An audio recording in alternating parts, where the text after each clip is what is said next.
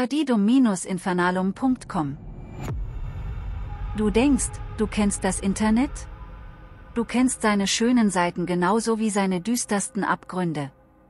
Du hast Unmengen von Katzenbabys, Produkten, Pornografie, Tutorials, Bildern, Videos, Berichten, Gedichten, Geschichten und Hintergrundinformationen in dich aufgesogen und meinst nun wirklich alles Wesentliche gesehen zu haben? Du irrst dich. Es gibt eine Ecke des Netzes, die du aller Wahrscheinlichkeit nach noch nie zu Gesicht bekommen hast. Und ich rede nicht vom Darknet oder Deep Web oder solchem lächerlichen Kram. So unappetitlich und düster dort sicher einige Websites sind, so sind doch selbst du finstersten Winkel des Darknets ein Witz gegen die mit Abstand krankhafteste und seltsamste Website, die im ganzen Web existiert. Ihr Name ist adidum-infernalum.com. Du wirst die Adresse jetzt sicher in deinen Browser eingeben und enttäuscht feststellen, dass du dort rein gar nichts angezeigt bekommst. Doch so einfach ist es nicht. Um adidum-infernalum.com aufzurufen, brauchst du einen ganz speziellen USB-Stick. Nur wenn du ihn in einen USB-Port deines Rechners eingesteckt hast, hast du über einen beliebigen Webbrowser Zugriff auf die ganz speziellen Inhalte dieser Website. Dabei handelt es sich bei adidum-infernalum.com im Grunde um einen Online-Shop. Allerdings um keinen gewöhnlichen. Du wirst dort keine Schuhe, keinen Schmuck und keine Geschenkartikel finden und auch keine Drogen, Auftragskiller oder Waffen, wie in manchen Online-Shops im Deep Web. Stattdessen findest du dort Dienstleistungen ganz anderer Artikel. Dort bieten nämlich Geister, Dämonen und andere Kreaturen der Nacht ihre vielfältigen Dienste an und auch Flüche und Zauber kannst du dort käuflich erwerben. Ein wahres Paradies für alle Rachsüchtigen und Verzweifelten. Du willst zum Beispiel, dass ein Feind von dir von nervenzerfetzendem Spuk heimgesucht wird? Kein Problem. Für nur 129,99 Euro wird ihn die lächelnde Barones heimsuchen. Eine bösartige und gnadenlose Frau, die ihre eigenen Kinder, mehrere Nachbarskinder und ihren Mann Ende des 19. Jahrhunderts ermordete. Sie benutzte dazu, neben ihrem zuckersüßen Lächeln, am liebsten vergiftete Süßigkeiten und hin und wieder ihr scharfes Küchenmesser, wenn ein Opfer nicht bereit war sich großzügig an ihrem Naschwerk zu bedienen. Am Ende wurde sie in ihrem teuflischen Tun vom beherzten Eingreifen ihres Nachbarn gestoppt. Die Schaufel, die dieser gewissenhafte Mann dazu benutzte, sorgte auch für das Gesicht und das heraushängende linke Auge, der lächelnden Baroness, die sie auch noch in ihrem Dasein als Geist auszeichnen und unverkennbar machen. Nun bietet sie ihre vielfältigen Talente all jenen an, die auf Rache und Vergeltung aus sind. Nenne ihr einfach den Namen deines Opfers und sie wird sich an die Arbeit machen. Die Baroness wird zum Beispiel wieder und wieder in jedem seiner Spiegel erscheinen, nachts auf der Autobahn auf dem Beifahrersitz auftauchen, ihm mit ihren schrillen Gesängen den Schlaf rauben, die Geister der einst von ihr ermordeten Kinder in seiner Wohnung herumlaufen und mit wahnsinnigem Gesicht auf ihn zu rennen lassen und vieles vieles mehr. Vielleicht lässt sie auch ein paar spezielle Süßigkeiten für ihn oder seine Kinder da oder sucht ihn in seinen Träumen heim. Falls dein Opfer nach zwei Wochen noch nicht verstorben und auch kein psychiatriereifes Nervenbündel ist, bekommst du dein Geld natürlich anstandslos zurück. Falls du mit dem Angebot der lächelnden Baroness nicht zufrieden bist, kannst du dich zum Beispiel auch an den schweigenden Harald, den Geist eines psychisch schwer gestörten Serienkillers, oder Anton dem Gräber, eines nekrophilen Arztes mit einer Obsession für obskure Menschenversuche, wenden.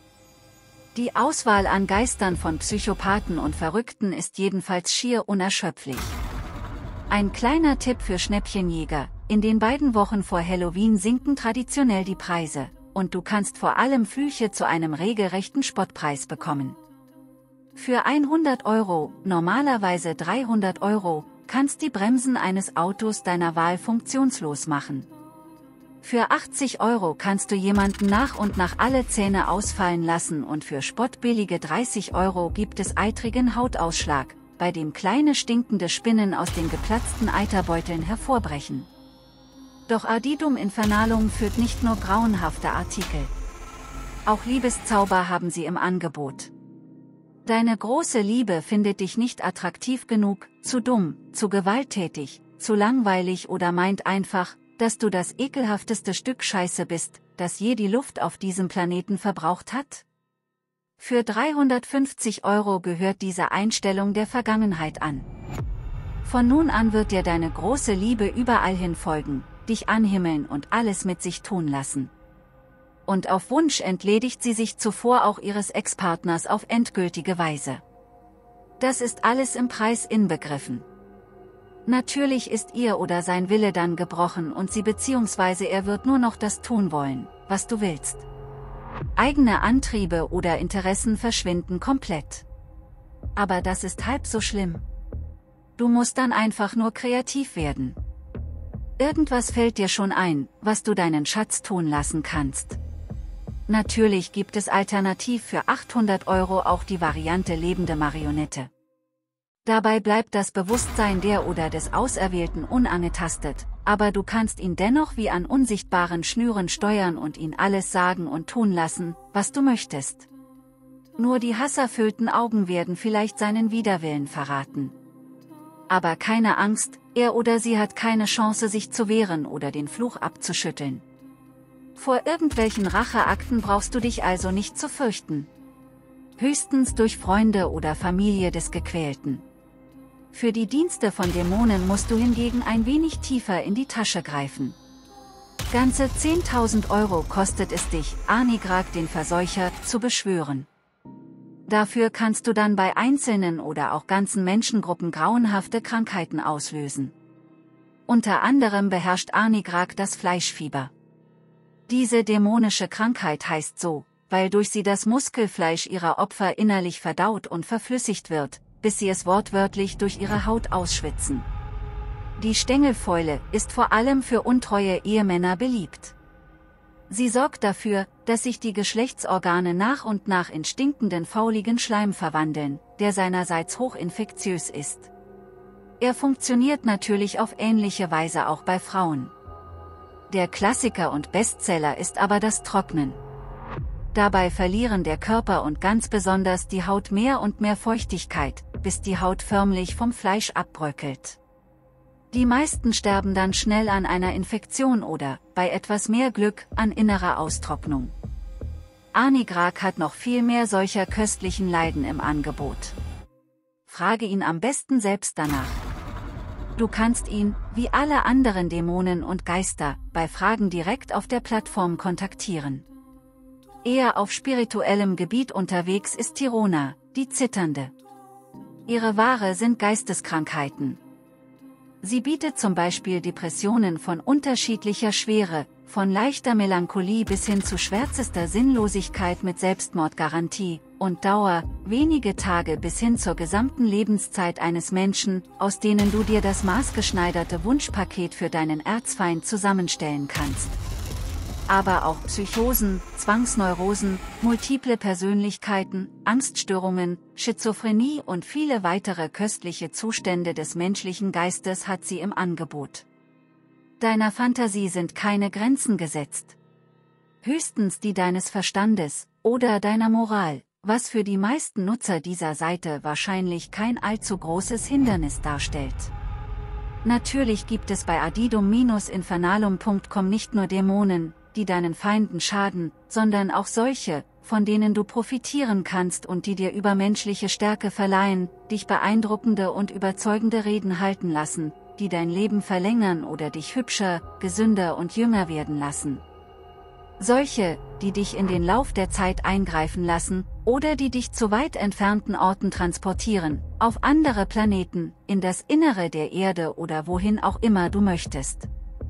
Die Möglichkeiten sind schier endlos. Die Kosten aber auch nicht gerade gering. Aber vielleicht kann dir in diesem Punkt auch Mr. Mammon weiterhelfen oder du versuchst dein Glück in der Lotterie.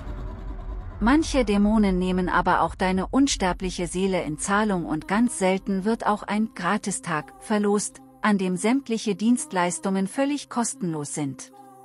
An diesem einen Tag wirst du ganz sicher weit mehr über dich selbst erfahren, als dir sämtliche Psychologen und Ratgeber je erzählen könnten. Nachdem du nun die Wunder und Schrecken von Adidum Infernalum kennengelernt hast, stellst du dir sicher die Frage, wie du in den Besitz des besonderen USB-Stick gelangst, nicht wahr? Das ist im Grunde gar nicht so wahnsinnig kompliziert.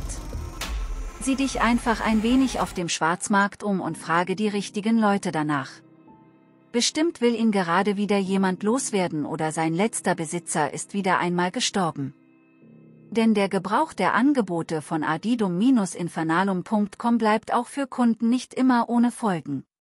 Viele vergessen entweder irgendwann zu bezahlen oder haben mehr eingekauft als sie sich leisten können, was die dort inserierenden Dämonen und Geister in der Regel nicht besonders gerne sehen und entsprechend reagieren. Welche Möglichkeiten ihnen zur Verfügung stehen, um säumige Kunden zu bestrafen, kannst du dir ja inzwischen vorstellen. Andere Nutzer des Shops konnten zwar bezahlen, werden aber nach all den Leben, die sie ruiniert haben, inzwischen dermaßen von ihren Schuldgefühlen in Verbindung mit ihrer anhaltenden Sucht nach immer neuen Racheaktionen geplagt, dass sie sich der verfluchten Versuchung unbedingt entledigen wollen. Was natürlich nicht gleich bedeutet, dass der USB-Stick billig zu haben sein wird. Ein wenig mehr Geld solltest du schon dabei haben. Apropos Geld, was mit dem bei adidum-infernalum.com eingenommenen Geld passiert, weiß niemand ganz genau. Man vermutet aber, dass damit Serienkillern die Flucht vor der Polizei erleichtert, skrupellosen Wissenschaftlern ihre moralisch fragwürdigen Experimente finanziert und Waffen für alle Konfliktherde dieser Welt bezahlt werden. Du kannst also davon ausgehen, dass dein Geld in guten Händen ist. Dennoch, so finster und verdorben die Angebote dieser Website auch sind, einen Grund dir den USB-Stick zu sichern gibt es auf jeden Fall, solange du ihn nicht besitzt, besitzt ihn vielleicht irgendjemand anders. Womöglich sogar jemand, der dich nicht mag.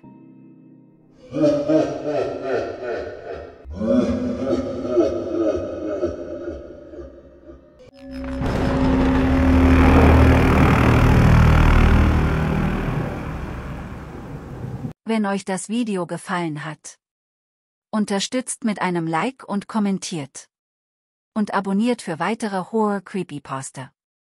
Vielen Dank.